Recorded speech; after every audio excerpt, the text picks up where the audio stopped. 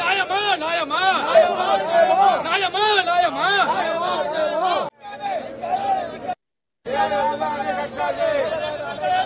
కట్టాలి కట్టాలి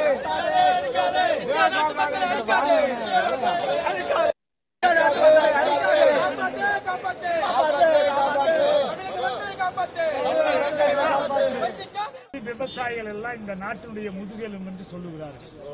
தேர்தல் முடிஞ்சுட்டா எங்களை கண்டுக்கிறதே இல்லை. என் கரும்பு ஒரு டன் தொண்ணூறு ரூபாய்க்கு போது குழந்தையா வாத்தியார் அம்மாவுக்கு தொண்ணூறு ரூபாய் சம்பளம். நான் ரிட்டையர் ஆகும்போது ஒரு லட்ச ரூபா வாங்கி ரிட்டையர் ஆச்சு. இன்னைக்கு நாற்பதனாயிரம் ரூபாய் பென்ஷன் வாங்க ஏன்னா என் கரும்பு வந்து வெறும் மூவாயிரத்தி நூற்றம்பது தான். எங்களை விவசாயிகளை இந்த நாட்டினுடைய அடிமை மாதிரி எல்லாரும் பாக்குறாங்க மோடி ஐயா என்ன சொன்னாரு?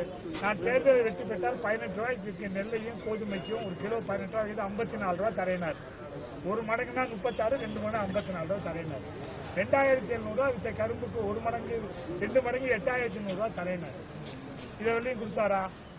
பதினெட்டு ரூபாய் வித்த நெல் இன்னைக்கு இருபத்தி ரெண்டு ரூபா ஐம்பத்தி நாலு ரூபாய் இல்லை. ரெண்டாயிரத்தி எழுநூறுவா ரூபாய் வித்த கரும்பு எட்டாயிரத்தி நூறுரூவா இல்லை இல்ல மூவாயிரத்தி நூத்தி ஐம்பது ரூபாய் தர்றாரு. நாங்களும் கேட்டு பார்த்தோம். இப்ப இந்த எலெக்ஷன் மேனிபெஸ்டோலையாவது எங்களை காப்பாற்றுவார் என்று எதிர்நோக்கினோம். எலெக்ஷன் மேனிபெஸ்டோ இல்லை. அதனால தமிழ்நாட்டிலேருந்து வந்து இந்த விலையை நிர்ணயம் பண்றது டெல்லி டெல்லியில தான். வேற யாராலையும் செய்ய முடியாது. எந்த முதலமைச்சராலும் செய்ய முடியாது. தமிழ்நாடு முதலமைச்சரோ கேரளா முதலமைச்சரோ இப்ப யூபி முதலமைச்சரோ இப்ப மத்திய பிரதேச முதலமைச்சரோ இல்ல வந்து வெஸ்ட் பெங்கால் செய்ய முடியாது. இவங்க ஒருத்தர் தான் செய்ய முடியும். மத்திய சர்க்கார் காஸ்ட் அண்ட் பிரைஸ் கமிஷன் டெல்லியில இருக்கு. அது இப்போ finance minister prime minister control இருக்கு. அவங்க தான் எங்களுக்கு செய்யணும். அவங்க செய்ய வேண்டும் என்பது இந்த போராட்டம். நேற்று நாங்கள் போராட்டத்துக்கு வந்திருந்தோம். எங்களை காவல்துறை வச்சு தாக்கி அடிச்சாங்க விவசாயிக. ரெண்டு பொம்பளைக்கு அடி. கையெல்லாம் பாருங்க புண்ணாயிடுச்சு அடிச்சதில்ல இன்றைக்கு வந்து எங்களுடைய இன்றைக்கு எங்களை வந்து காப்பாற்ற மாட்டேங்குது மத்திய சர்க்கார். உச்ச நீதிமன்றமே காவிரியில தண்ணி மாசம் தேவை மாட்டேங்குது. உச்ச நீதிமன்றம் வந்து வேற எந்த காரணத்திலும் அணை கட்டக்கூடாது மேகதாது அணை என்பதை கட்டக்கூடாதுன்னு சொல்லுது உச்ச நீதிமன்றம். ஆனா பொய்யா சிவகுமார் சொல்றாரு தமிழக சர்க்கார் ஒத்துக்குச்சு அப்படின்னு பொய்யா ஸ்டேட்மெண்ட்லாம் கொடுக்குறாரு.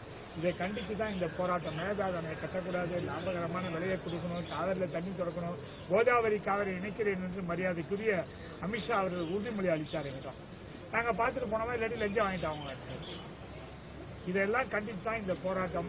நாங்கள் எங்கள் தற்கொலை பண்ணி கொடுறதுக்கு ரெடியா இருக்கோம்னா மேலே போய் ஏறி நிற்கிறாங்க எங்களுக்கு எங்களுடைய கோரிக்கை ஏற்கவில்லை என்றால் தற்கொலை பண்ணி ரெடியா இருக்காங்க.